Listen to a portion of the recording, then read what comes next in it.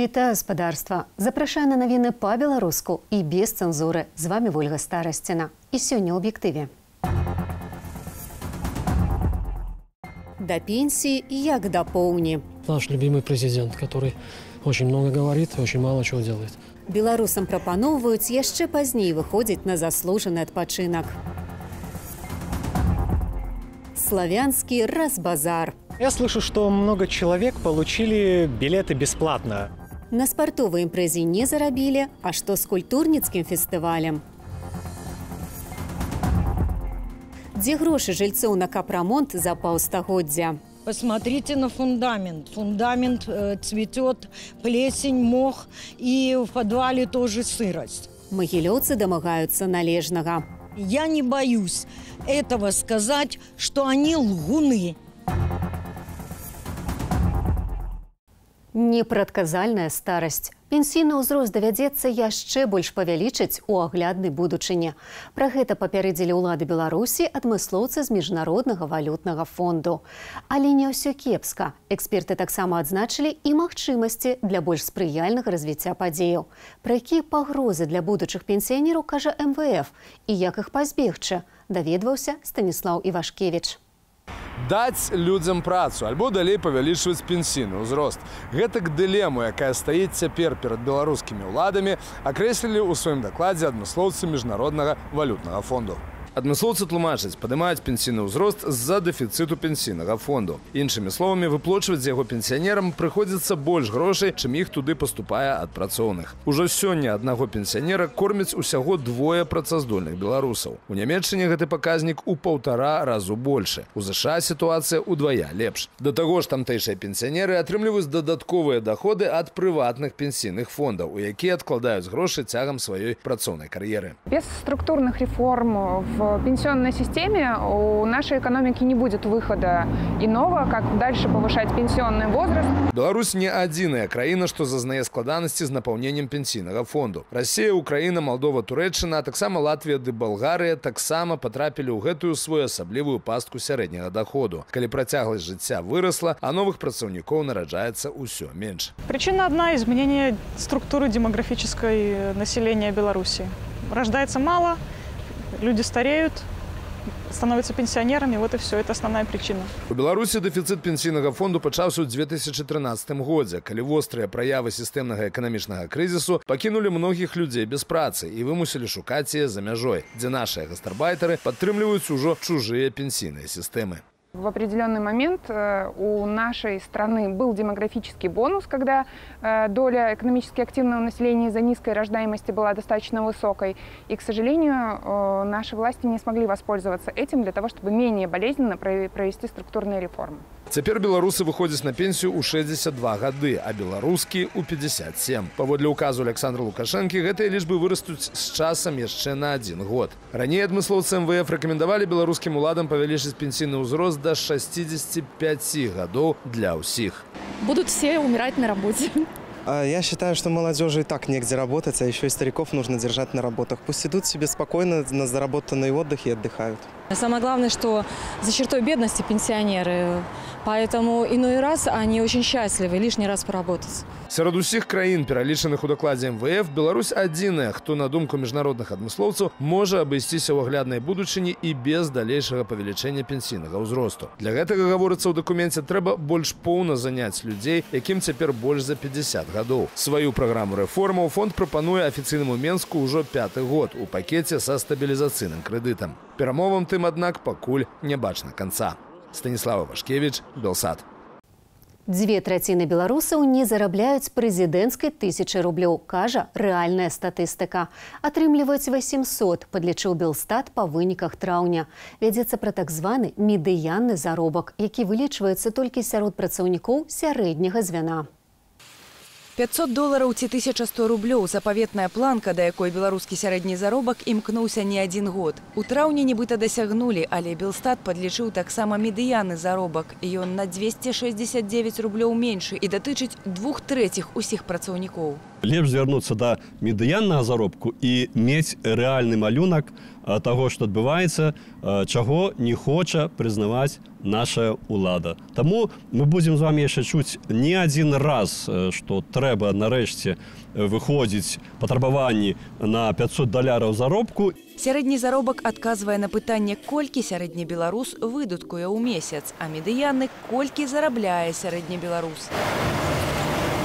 Да прыкладу, дырэктар фірмы зарабляе 1700 рублёў у месяц. Менеджары, якіх большасць па 800 рублёў і 350 рублёў тэхперсанал. Сярэдні заробак складае 950 рублёў, але рэальна большасць працаўнікоў сярэдняга звяна атрымліваюць 800 рублёў. Гэта і ёсць медыянны заробак. Кіраўнік краіны рупіцца толькі пра сярэдні. Если кто-то думает, что мы будем платить заработную плату тем, кто сегодня шалтай-болтай работает и зарабатывают там 600, как они пишут, 700 рублей, и мы будем доплачивать до 1100, то вы должны понимать, за счет кого. Шаўтай-баўтай гэта не пра нас, кажуць, а пытаныя намі працаўнікі. Мест рабочих мало, коррупция и тому подобное. Пока у нас не урегулируется что-то сверху, народ будет, скажем так, в не очень хороших условиях трудиться и работать. Наш любимый президент, который очень много говорит и очень мало чего делает. Зарплаты 300-400 рублей по городу Могилеву. Мы уезжаем в Россию на заработки. Ёсць і ніжняя мяжа. Каля двух з паловаю адсоткаў беларусаў паводле белстату зарабляюць менш за 300 рублёў на месяц. Юлія Цяльпук, Белсат. 70 асобаў эвакуявалі з чыгуначнага вакзалу баранавіча палескі. Прычына чарговы тэлефонны званок у міліцыю з паведамленнем вакзал замінированы. На шчасце ніякай міны не было.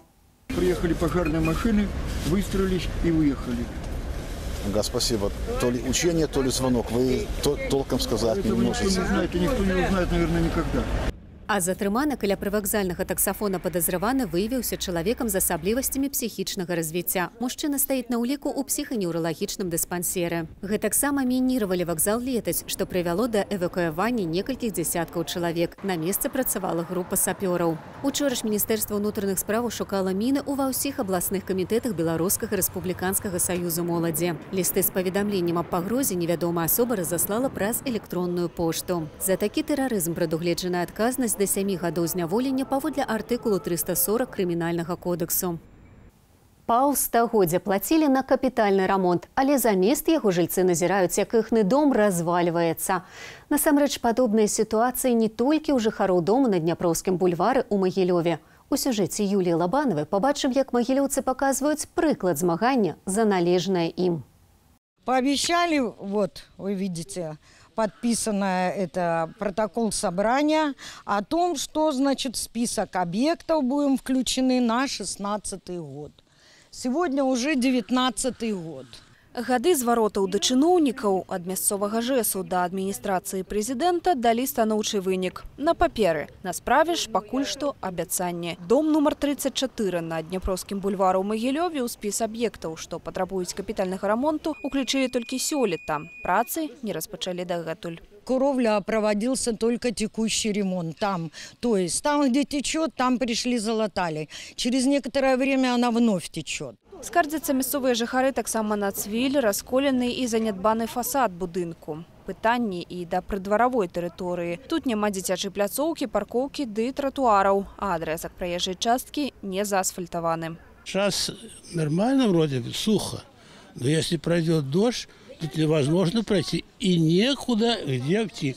Не толькі чалавеку не прайсці, але і хутка і не праехаць. Між тым у шматпавярховіку жывуць пераважна пенсіянеры. Добраўпарадкаванне яны чакаюць амаль 50 гадоў ад самага засялення.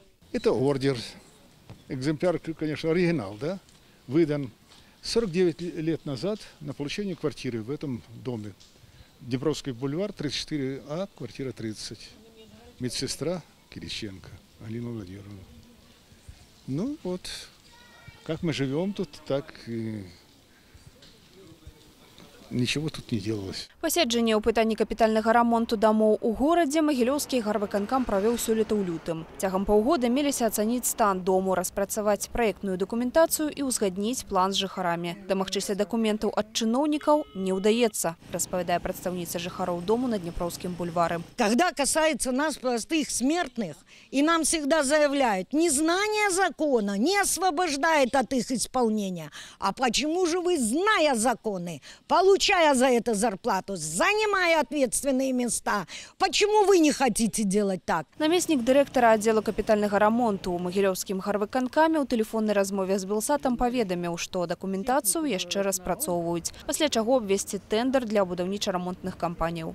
Ну, зараз разрабатывается проектная документация, разрабатывается ленинское древо. И по- ну, где-то 28 июня будет термин, Когда- когда мы будете Калі і ці будзе ўзгоднены план працаў з мясцовымі жыхарамі, пытанне адкрытае. На тэлефонныя званкі даверанай у гэтым пытанні асобе чыноўнікі не адказваюць. Што ж да рамонту, то, як паведаміў Белсату Сергей Зядзькоў, яго завяршэнне давядзецца чакаць у наступным 2020 годзе. Юлія Лабанова, Белсат. Дзясяты міжнародны кінафестываль у Адэсе. Свята кіно азмрочанай адсутнасцю Олега Сянцова. Украінскі рэжысёр ужо 5 гадоў утрымліваецца ў расійскай калоніі паводле абвінавачання, з якім не згодныя міжнародныя праваабаронцы. Аднак творчасць Сянцова прабілася праз турэмныя муры. Як распавядзе Адэля Дубавец. Адэса марская жывая розная як кантрасны душ. У ліпені сюды ўжо традыцыйна з'язджаецца ўвесь свет украінскага і еўрапейскага кіно. Сёлета адэскі міжнародны кінафестываль адбываецца дзясяты раз. Палову гэтага часу 5 гадоў рэжысёра Олега Сянцова утрымліваюць у калоніі на поўначы рассеі. З нагадвання пра гэта пачынаецца кожны фільм, што дэманструецца на фестывальных экранах. Я пам'ятаю, що новина про те, що Олег Я памятаю, як навіна пра тое, што Олега арыштавалі, сустрэла нас усіх падчас канскага фестывалю. Тады складана было прагназаваць падзеі, але мы, як фестываль, адразу пастанавілі, што будзем яго падтрымліваць. Мы павесілі плакаты ва ўкраінскім павільёне ў канах, сабраліся з нашымі замежнымі калегамі, напісалі адкрыты зварот. І з таго часу фэст падтрымлівае Олега. Рэжысёра памятаюць не толькі на словах. Ва ўкраіне сабралася каманда і зняла фільм паводле п'есы, напісанай сянцовым у няволі. Цяпер фільм нумары праходзяць апошнія падрыхтоўчыя стадыі. Працэс ускладнены тым, што сам рэжысёр прысутнічаў у ім толькі праз ліставанне. Спасибо тем, кто тщательно следовал всем моим инструкциям, разбирая мой кривой почерк. Спасибо тем, кто э, попускался своими амбициями и идеями ради реализации моих амбиций и идей. У лістах, якія пішуцца ад рукі і часта затрымліваюцца турэмнымі цэнзарамі, няма ні слова пра палітыку. У здымачнай групе нумароў жартуюць, што за апошні год турэмшчыкі маглі прайсці падрабязны курс рэжысуры кіно. Праз ліставанне сянцоў выбіраў і актораў і рэжысёра, які будзе ягонымі рукамі на свабодзе. Звісно, що багато символіки. Він з Криму, я з Криму. Вядома, тут шмат сімволікі. Ён з Крыму, я з Крыму. Мы на адным і тым жа фестывалі атрымалі свае прызы, тут жа і пазнаёміліся. Футбол гулялі. Вельмі шмат усяго склалася з гледзяшча сімволікі, у якую я веру. Треба робити все так, як заповідав нам великий нуль. Нумары гэта гратэскава сатырычная антыутопія, якая распавядае пра існаванне групы людзей у закрытай прасторы. Я дякую за те, що перше, що він написав, роби, як вважаєш за потрібне. Я яму ўдзячны за тое, што перш за ўсё ён напісаў рабі, як лічыш патрэбным. Так робіць моцная, упэўненая ў сабе асоба. Ён вельмі акуратна, з хваляваннем падыходзіць да ўласнага матэрыялу, які хацеў бы здымаць сам, але пры гэтым у яго ёсць сілы сказаць іншаму рэжысёру рабі як хочаш. Для ўдзелу ў конкурсных праграмах адэскага кінафестывалю ў гэтым годзе падавалі больш за 1100 фільмаў. З іх дырэкцыя адабрала менш за сотню. Магчыма, праз год у конкурснай частцы апынецца і фільм нумары, створаны ў няволі. Адэля Дубавец Белсад. Славянскі разбазар. Такія надпісы з'явіліся ў цэнтры Віцебску. Сёлетні кошт фестывалю не агучваўся, але на сайце саюзнай дзяржавы Беларусі і рассіі пішуць аб выдаткаваных 25 мільёнаў расійскіх рублёў з бюджэту саюзнай дзяржавы. Графіці хутка зафарбавалі. А мы запыталіся ў мінакоў у Віцебску, ці лічаць яны славянскі базар марнаваннем грошай або патрэбным цудоўным святам. Лично я слышу, что много человек получили билеты бесплатно. А с учетом того, что цены 40-50 рублей на открытие-закрытие, э, мне кажется, фестиваль не окупится. Затратная сторона, безусловно, очень большая. Я это понимаю. Мне самому приходится сталкиваться с организацией а, небольших, правда, мероприятий. И поэтому я могу судить о том, что, э, конечно, колоссальные, э, колоссальные вложения бюджета, но они оправданы. Это праздник, которых так мало у нас в жизни, к сожалению. Ну, денег всегда людям мало, поэтому я думаю, этот праздник нужен, и мы должны стараться, чтобы он был как можно дольше. Считать надо. Надо считать все. Мне кажется, что все деньги, которые потрачены, они этого стоят. Адзіны ў свеце спаборніцтвы касцоў праходзяць у свярдлоўскай вобласці рассіі. Турнір ладзіць арцінскі завод, на якім 200 гадоў таму выпусцілі першую касу. Цяпер гэты інструмент стаў не такі патрэбны. Але чаго не зробіш дзеля захавання традыцыяў. Гэта каб перамагчы мужчыны мусілі скасіць 100 метраў травы, жанчыны 50 і не пакінуць пры гэтым ніводнай травінкі. Ці ўдалося, пабачым у наступным сюжэце.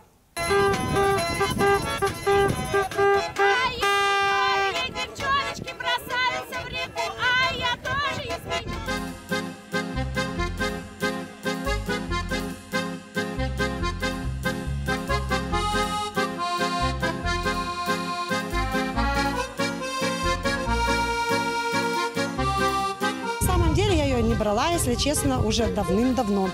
А, только в детстве вот мы с папой косили. Вот, поэтому, ну, навык остался.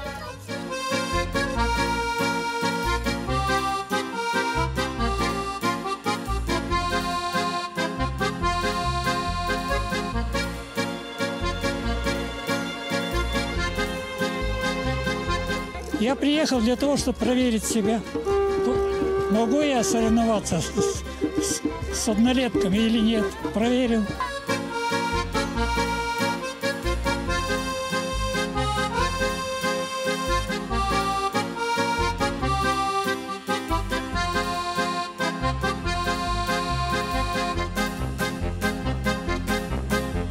Качественную работу всегда надо делать.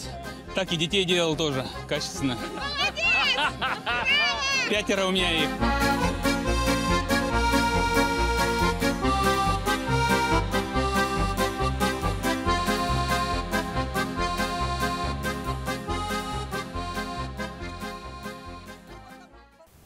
Касіць варта, каб сагрэцца. Заўтра тэмпература ізноў крыху ніжэй кліматычнай нормы. Падрабязней ужо зараз у прагнозе надвор'я. У мяне ж на гэтым усё. Цудоўнага вам вечара. Беражыце сябе.